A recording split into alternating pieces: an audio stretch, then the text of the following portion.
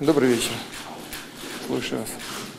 Владимир Владимирович, в первую очередь мы находимся в Монголии, поэтому хочется поинтересоваться о итогах визита и удалось ли преодолеть инерцию в торгово-экономических отношениях.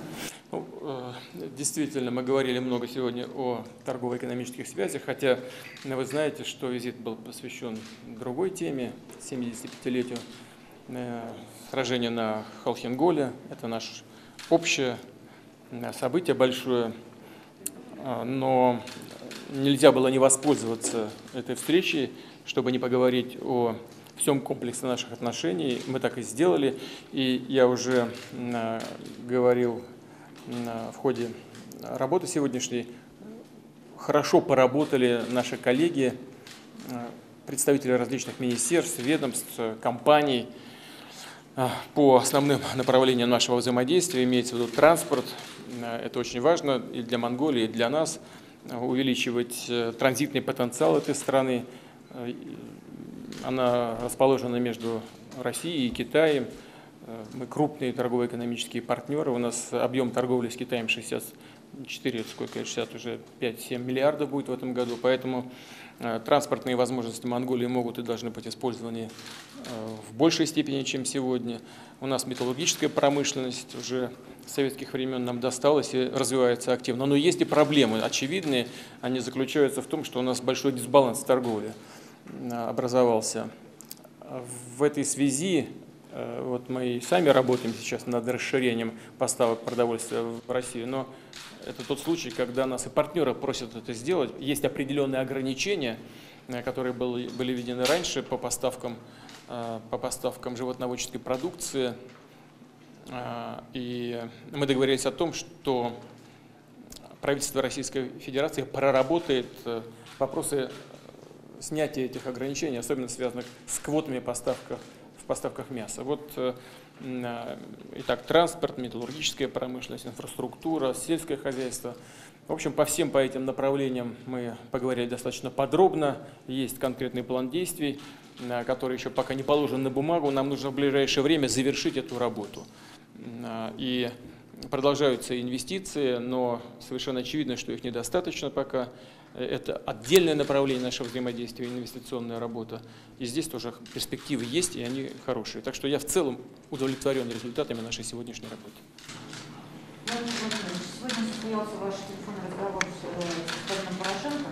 Сначала украинская сторона сообщила о том, что мы договорились о э, полном прекращении огня, но, естественно, потом последовали пояснения, что речь идет о конкретных шагах э, для урегулирования сложившейся ситуации, что понятно, потому что Россия не является стороной конфликта. Есть ли какая-то конкретика, что это за, за шаги что будет дальше? Да, действительно, сегодня утром мы говорили по телефону с президентом Порошенко, и наши взгляды, во всяком случае, так мне показалось, на пути урегулирования конфликта очень близки, как говорят дипломаты. Я вот по дороге сюда из Благовещенска в Улан-Батор в самолете прямо набросал некоторые соображения, можно сказать, некоторый такой план действий. Э, Он у меня, правда, от руки пока изложен. Есть у кого-то, Леонид Сергеевич? Я- если вы- интересно, я могу вам... я могу вас, очень интересно, могу вас ним познакомить. На- в целях прекращения кровопролития и стабилизации обстановки на юго-востоке Украины считаю, что противоборствующие стороны должны незамедлительно согласовать и скоординированно осуществить следующие действия. Первое прекратить активные наступательные операции вооруженных сил, вооруженных формирований ополчения Юго-Востока Украины на Донецком и Луганском направлении. Второе. Отвести вооруженные подразделения силовых структур Украины на расстояние, исключающее возможность обстрела населенных пунктов артиллерией и всеми видами систем залпового огня. Третье предусмотреть осуществление полноценного и объективного международного контроля за соблюдением условий прекращения огня и мониторингом обстановки, создаваемой таким образом в зоне безопасности. Четвертое. Исключить применения боевой авиации против мирных граждан и населенных пунктов в зоне конфликта. Далее. Организовать обмен насильственно удерживаемых лиц по форме или по формуле всех на всех без каких-либо предварительных условий. Шестое. Открыть гуманитарные коридоры для передвижения беженцев и доставки гуманитарных грузов в города и другие населенные пункты Донбасса, Донецкую и Луганскую области. И, наконец, седьмое.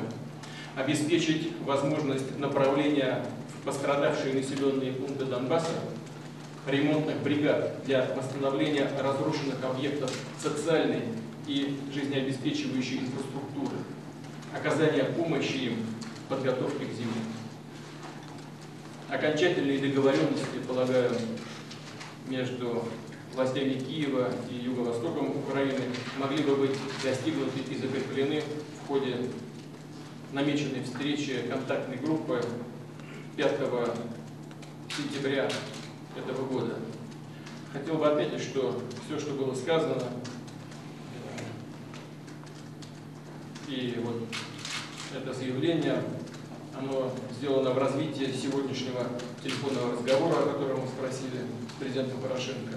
Я очень рассчитываю, что руководство Украины поддержит наметившийся прогресс в двухсторонних отношениях и использует позитив в работе контактной группы для окончательного и всестороннего урегулирования ситуации на юго-востоке Украины, разумеется, при полном и безусловном обеспечении законных прав людей, которые там проживают.